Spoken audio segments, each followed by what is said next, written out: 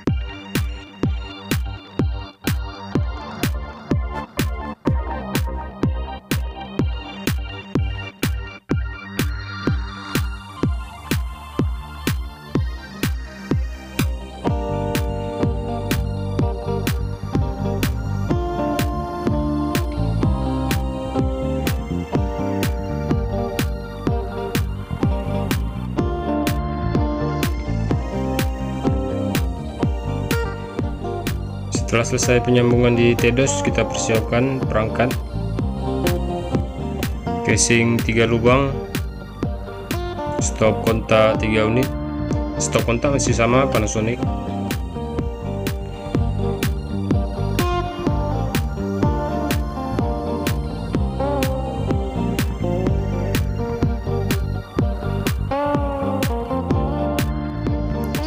Kemudian kabel untuk penghubung power dan netral antara stop kontak 1 ke stop kontak 2 dan ke stop kontak 3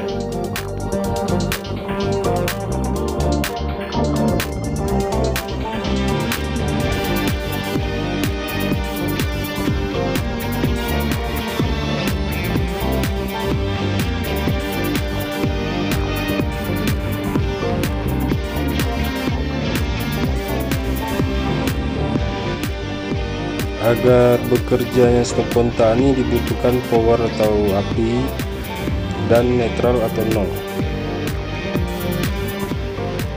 Jadi yang sebelah kanan akan saya hubungkan ke power atau api dan sebelah kiri saya hubungkan ke nol atau netral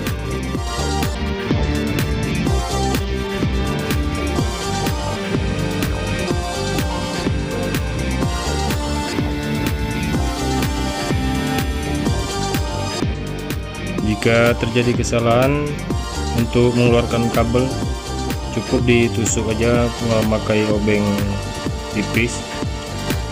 Seperti yang saya contohkan ini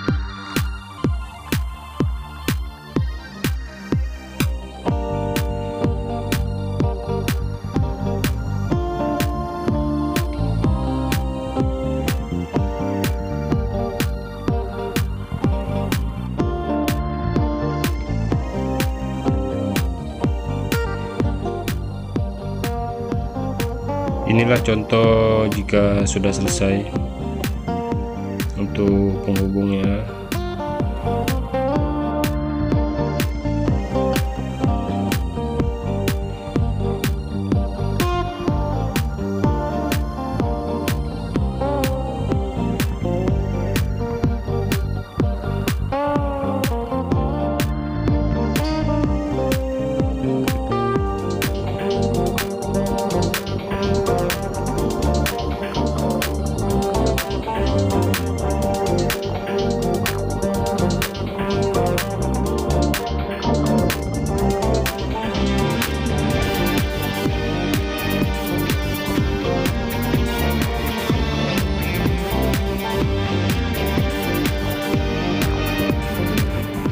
dan hasil akhirnya seperti ini jika sudah selesai tinggal dirapikan aja di boxnya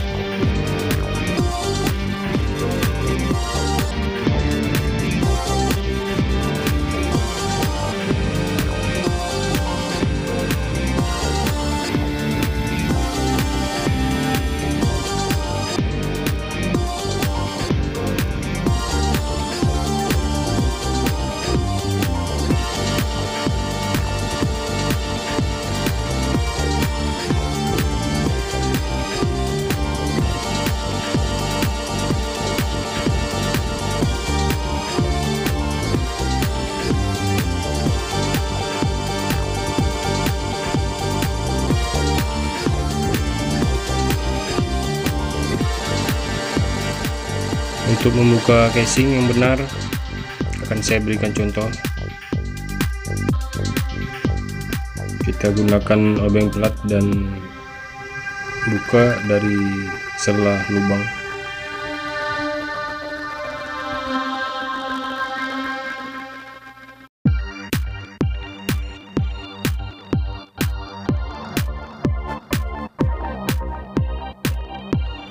Demikian video dari saya Semoga bermanfaat. Assalamualaikum warahmatullahi wabarakatuh.